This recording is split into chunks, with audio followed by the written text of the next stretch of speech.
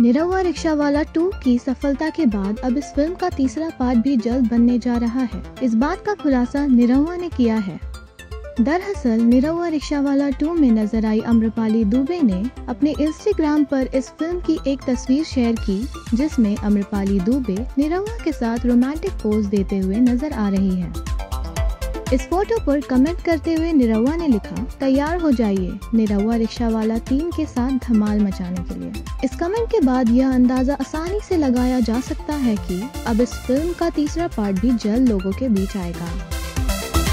आपको बता दें कि जुबली स्टार दिनेश लाल यादव की कई फ़िल्में हैं, जिनके कई पार्ट्स बनते हैं। निरवा हिंदुस्तानी उनमें से एक है। निरवा हिंदुस्तानी के तीन पार्ट बन चुके हैं और तीनों ही काफ़ी हिट रहे हैं। अब फ़िल्म का चौथा पार्ट भी बन सकता है।